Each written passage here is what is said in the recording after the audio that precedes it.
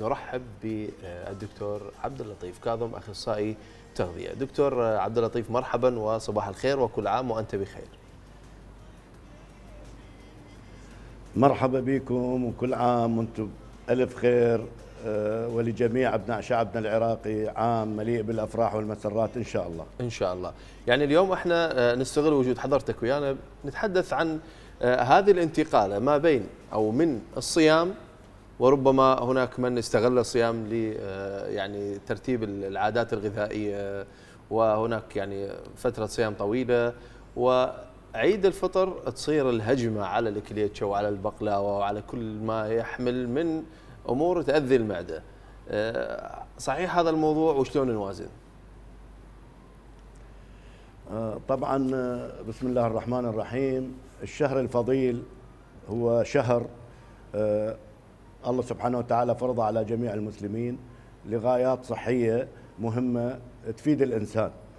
طبعا من خلال الشهر الفضيل آه، على الإنسان وعلى الصائم أن يكون ملتزم بوجبات الفطور ووجبات السحور. طبعا هناك أغذية طبعا هو هو شهر رمضان أصلا فلتره جسم الإنسان ولطرد السموم من الجسم خلال أكل على مدى 11 شهر تقريبا. ف آه، إحنا للأسف طبعا في شهر رمضان آه، نضع على المائده ما لذ وطاب ونأكل أكثر مما الله سبحانه وتعالى فرض علينا من قال صوموا تصحوا. آه، فالأحاديث النبوية الشريفة دائما تأكد آه، على هذا الموضوع. فالصيام هو جانب روحي وإنساني وديني وشرعي وصحي في آن واحد.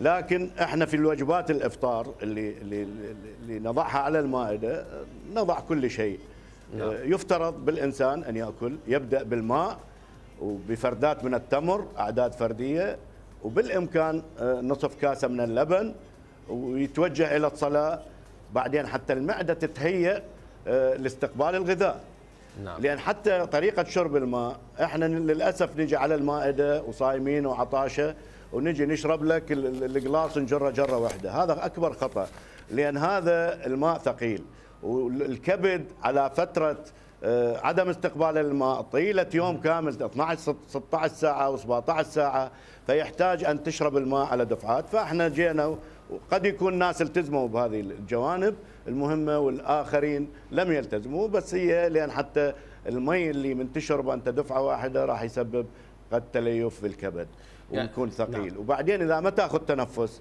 يعني من تشرب الماء يجب أن تأخذ تنفس. ليش؟ خاصة لمرضى السكري. لأن اللي يعانون من مرض السكري من يجر تنفس من خلال دفعة الماء أو نقول كمع مي يشربه ويجر نفس راح يعطي أنسولين ويتنظم السكر عنده في جسمه. آه، بالسحور طبعا آه، بعد ما تكمل تصلي وتكمل تكمل وجبة لا تكون ثقيلة لا تكون مليئة بالدسم لا تكون آه، طبعا آه، صحن كبير حاول تخلي الصحن الصغير وتأكل على راحتك لأن أنت قضيت فترة الصلاة حوالي ربع 20 دقيقة وبالإمكان تجي تكمل الوجبة الرئيسية. ما بين الفطور والسحور إحنا حقيقة كنا لا مستمرين بالأكل وهذا أكبر خطأ. يفترض أنت بعد ساعة يجب أن تشرب الماء لأن إحنا فقدنا السوائل طيلة فترة النهار على مدى 16 ساعة ونص تقريبا. والجسم طبعا اللي يحتاج المياه ما فقدته أنت من السوائل حتى لأن تقريبا أكو ناس تشتغل طيلة نهار رمضان فراح يصير عندهم جفاف فيعوضها بالماء. طيب. فما ما مطلوب من الصائم كان يفترض يشرب من الفطور إلى السحور حوالي لترين إلى ثلاثة ماء. نعم. يعني دكتور حضرتك أثرت نقطة هناك يعني آه، من يعني يدعي أنه الصيام آه، يسبب فشل كلوي خصوصا في المناطق الحارة واللي آه، يعني ساعات الصيام فيها طويلة. كيف نرد على هذه آه، الادعاءات؟ طبعا مرضى الكلى الله يشافه يشافيهم إن شاء الله. طبعا قبل ما يصوم أن يستشير كان الطبيب. الطبيب الأخصائي نعم. يستشيره. هذه يعني هذه رخصة من الله سبحانه وتعالى يعني ليس على المريض حرج. بهذا الموضوع ومن كان منكم نعم على نعم. سفر. آه، نعم لكن هناك حتى الأصحاء آه، نعم وهناك من يستغل هذه الفقرة تحديدا وأنه الصيام يسبب للشخص السليم يسبب له يعني فشل كلوي وجفاف. طبعا هاي مقولة خاطئة لأن صوموا تصحوا. نعم. وكتب عليكم الصيام الله سبحانه وتعالى قال كما كتب على الذين نعم. يعني شهر مفروض على كل مسلم. نعم. بس بشرط آه، يقلل خاصة آه، اللي يعانون من مرض الكلى ومرض ارتفاع ضغط الدم الشرياني. عليهم دائما أن الأملاح يقللوها. لأن الأملاح تسبب آه، حبس بالسوائل وتسبب لك متاعب. بس طريقة تناولك للسحور. يعني حتى اللي عنده آه، حالة بالكلى التهاب أو حصو حاول ياكل سلطات وخاصة الخس والخيار لأن تحتوي على مي وياكل الشغلات الخفيفة البعيدة عن الدسم وبعيدة عن العطش، يعني ما يشرب لا شاي ولا قهوة ولا مشروب غازي لأن هاي بها مادة الكافيين. نعم. ومادة الكافيين تدرر وراح تسبب تنشف بجسم الإنسان، يعني الجسم راح يحتاج إلى سوائل، فالمحاذير طبعا اللي يلتزم صحيح بوجبة السحور ما يشرب شاي ما يشرب قهوة ما يشرب مشروبات غازية آه، ويشرب وياكل أكلات ما تعطش بعيدة عن ال... يعني غير مملحة بشكل صحيح راح يقدر يكمل النهار بوضع طبيعي جدا. نعم. آه، طبعا دكتور عبد اللطيف آه، كل عام وانت بخير وصباح الخير. دكتور عبد اللطيف يعني اليوم كل عام وأنتم بخير. اليوم أول أيام العيد وفطرنا وتريقنا الصبح الجيمر والكاهي وأكلنا كليتشه زين إذا أقول لك إنه أني سويت كل هاي الأشياء بس ما راح أتعشى بالليل. شو تردني؟ طبعا آه، هذا بس من المستحيل طبعاً ما آه، تعشى. النظره للغذاء بالعيد. يعني يعني بالعيد يجب أن الإنسان يفكر أكو كان شهر رمضان. أكو برنامج غذائي كان متبعه. فعلي طبعا وقت السحور وقت الفطور راح يتغير. فكان يفترض بالإنسان بليلة ليلة العيد أن يأكل خفيف مثل موعد آه، ال- ال- السحور اليومي. ويجي مكان ما يفطر يفطر في ساعة ساعة السابعة والنصف تقريبا. يجي الفطور الأولي يصير ساعة 12 ونص مثلا. ويأكل خفيف وأكثر ما يأكله آه، أكلات خفيفة بعيدة عن الدسم آه، ما يتقرب على الحلويات أول يوم بالسرعة ولا يأكل المكسرات. لأن تقريركم كان حقيقة بملاحظات قيمة وجيدة جدا. فالسكريات هنا راح تزيد الوزن وراح تسبب متاعب لأن من خلال الأكل الدسم تدري لحوم وأسماك ودجاج والرز والأكل. يقول لك أنا كنت صايم أريد اطل. لا هذا أكبر خطأ. يعني من خلال منبر آه، شاشتكم الكريمة آه، على الصائمين اللي كانوا صائمين واليوم فطر أن يحاول يخفف الوجبات الغذائية بالتدريج ويصعد للأكل المثالي للأكل المتوازن. يعني مو أنا من أقول له اليوم تاكل خفيف وباكر راح تاكل. لا. هو هو جسم الإنسان يحتاج توازن بالغذاء. نعم. توازن بالغذاء يجي من خلال الكربوهيدرات اللي هي مصدر الطاقة ومن البروتينات اللي هي تبني الأنسجة مصدر لبناء الأنسجة والخلايا والعضلات وللفواكه والمعادن والسوائل. هذا المطلوب غيره لا يجوز لأن يعني أنت المكسرات من تاكلها والحلويات أنا أعرف قاعد على التلفزيون وعنده ضيوف اليوم ويقدم ما لذ وطاب. نعم. عشر أشكال من المكسرات خمس أشكال من الفواكه خمس أشكال من الحلويات إضافة للكليتشة وغيرها هاي تقاليدنا الإسلامية والعراقية اللي إحنا متعودين عليها. فيجب على كل آه، آه، إنسان كان صائم عليه أن لا يتسرع بتناول الوجبات الدسمة وعليه أن يبدأ بالتدريج. طيب هاي بالنسبة للناس الأصحاء اللي ما عندهم مشاكل اللي الناس اللي أصلا عندهم ضغط وسكر وكانوا صايمين الآن أيضا هم بحاجة إلى تعويض لكن بطريقة معينة. كيف تنصح هؤلاء المحتاجين بهذه الطريقة من السكريات المحتاجين إلى آه، أشياء تخص الضغط لربما الموالح أنه يبتعد عنها إذا ما كان ضغطه مرتفع وغيرها من الأشياء. نعم. آه، طبعا بالنسبة للي يعانون من أمراض ارتفاع ضغط الدم وأمراض المزمنة بشكل عام السكري وارتفاع الكوليسترول ومنها التهاب المفاصل لأن يعني كل ال- ال- الأمراض اللي يعاني منها. إحنا في هذه المرحلة اللي بعد بعد صيام دام 30 يوم أو 29 يوم علينا أن نبدأ أن نأكل آه، الأكلات الخفيفة قلنا. وبعدين بالنسبة للمرضى اللي يعانون من أمراض مزمنة أن ما يتوجه على المكسرات المملحة. يعني الكرزات طيبة بس خليه يأكل خاصة بالنسبة لأبو ارتفاع ضغط الدم. عليه أن يتناول اللوز بكثرة اللوز ال- ال- اللي اللي ما غير مملح يعني الغير ما يعني ما محمص. آه، ويحاول بطريقة معينة مهمة جدا. حتى لا تتعب أسنانه هو قد يكون كبير بالسن. يحاول ينقع اللوز آه، على مدى ست ساعات. وراح ينتفخ شلون ننقع الحمص فراح يكون راح ينتفخ ويكون سهل الهضم وتذب القشر ماله. نعم. فيقدر ياكل 15 إلى 20 حبة حتى تسد رمقه من من الغذاء الجيد لا بالضغط لأن اللوز مفيد جدا لا بالضغط إضافة لهاي كل الأكلات اللي اللي اللي ينعزم بها ويسوي هو لازم يكون أكله يختلف. ليش؟ لأن لازم يفكر يأكل حوامض أكثر يعني حمضيات وليمون مع الأكل أكثر من الأملاح لأن الأحماض بها مادة البوتاسيوم اللي تحاول توازن الضغط. آه، يأكل الفواكه المهمة البرتقال والموز. البرتقال والموز نسبة عالية من البوتاسيوم بها آه، تفيده لتوازن ضغطه. فعليه أن يركز اللي يعاني من ارتفاع ضغط الدم يركز على الفواكه بالدرجة الأولى. والسوائل يشرب مي يعني ما يشربه ويا الأكل لا قبل الأكل بنص ساعة.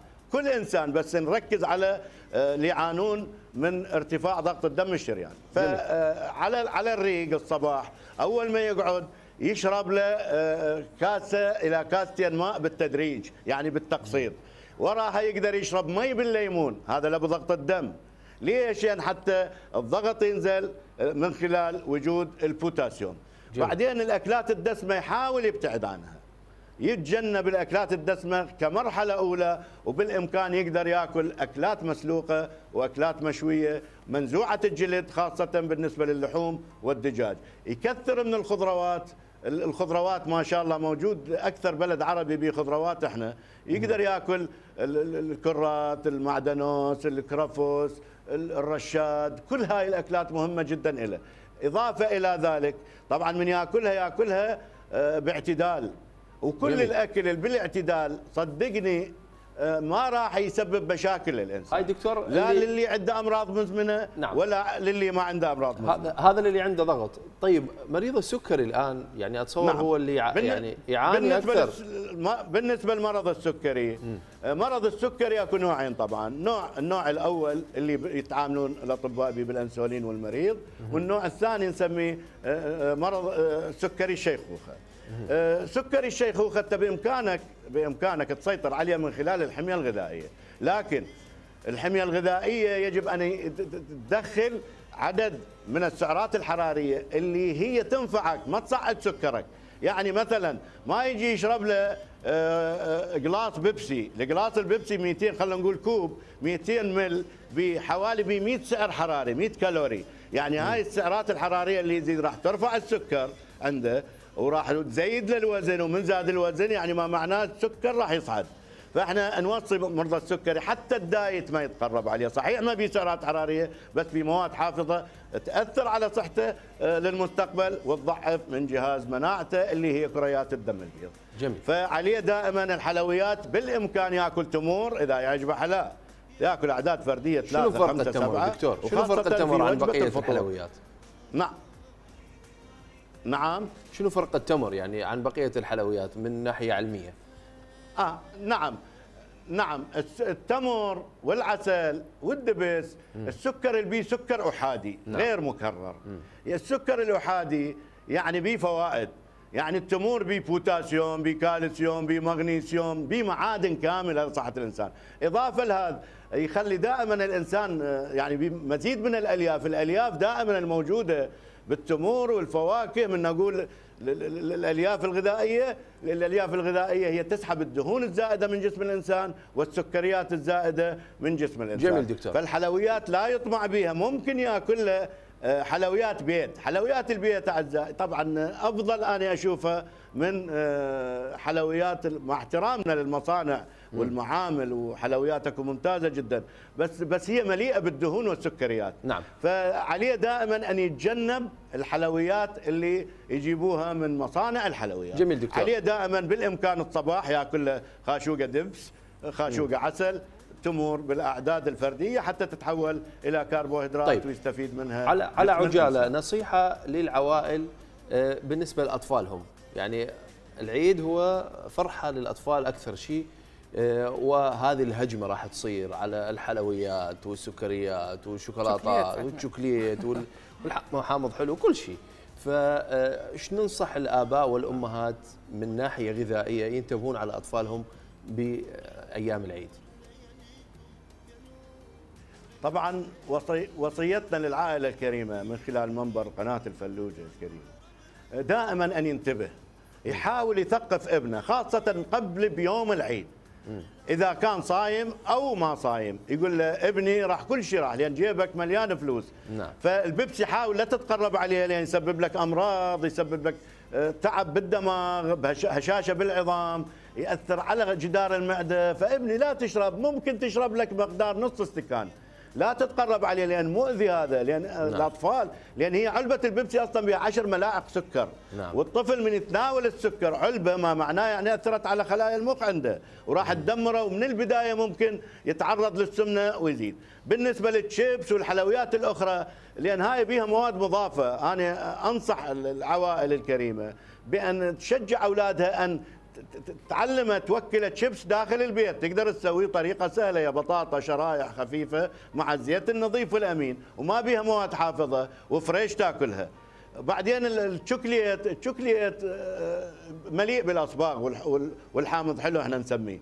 هاي الأصباغ طبعا بيها أضرار على الطفل وتأثر على صحته لأن بيها ألوان والألوان الصبغية هاي الألوان الحمراء والصفراء هاي مو صحية على الجميع طبعا. فكيف الطفل يعني حتى الكبار.